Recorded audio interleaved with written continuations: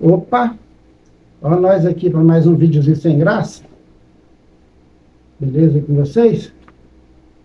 Então, eu estou ficando cada vez me sentindo mais incompatível com o termo famiagem, família, essas coisas tudo. É, tô emocionalmente e financeiramente incompatível com o termo famiagem. É, famiagem.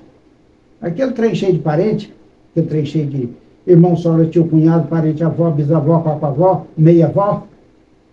Estou ficando emocionalmente e financeiramente incompatível. Eu vou explicar por quê. Deixa eu explicar por quê. Bom, a gente tem lá uns, sei lá, uns 200, 300 parentes, linha direta, assim.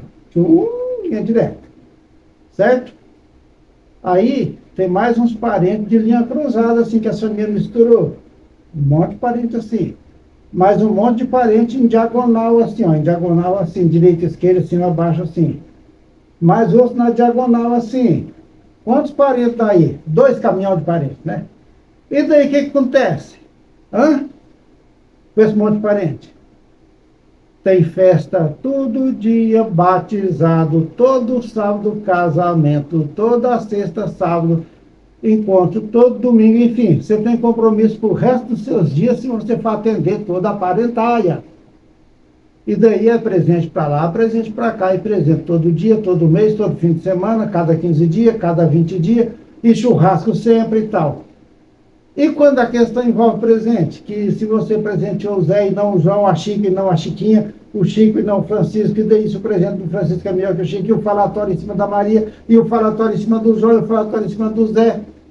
Já pensou? Meu espírito está ficando incompatível com essas coisas. Meu espírito e meu emocional não está mais compatível com tudo isso, não, gente. Está custoso. Vixe, que fazer? Hã?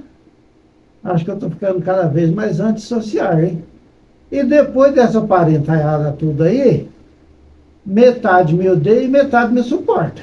Apenas me suporta. Então, hã? Estou ficando incompatível financeiramente, espiritualmente, emocionalmente incompatível com o termo famiagem.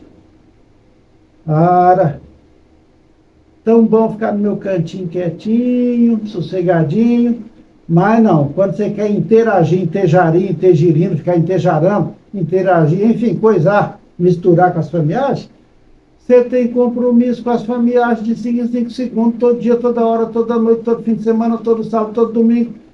Indiscutivelmente, indubitavelmente, todo dia, toda hora, toda noite, tem alguém ligando, alguém chamando, alguém pedindo, alguém precisando, alguém levando. E a gente vai ficando enervado isso me deixa enervado com tanto compromisso. Eu sou da paz, eu gosto de ficar no meu cantinho quietinho, só apreciando meus dias, só isso. Então, eu me declaro, a partir desse momento, estou me declarando emocionalmente e financeiramente incompatível com o termo familiar. Ok? Esse vídeo não faz sentido, mas é o que eu tinha para hoje, tá? Relato sincero de alguém que está se tornando familiarmente incompatível, emocionalmente incompatível, financeiramente incompatível, já estou faz tempo. Beleza, gente? Está feito o desabafo de um ser que se tornou familiarmente incompatível.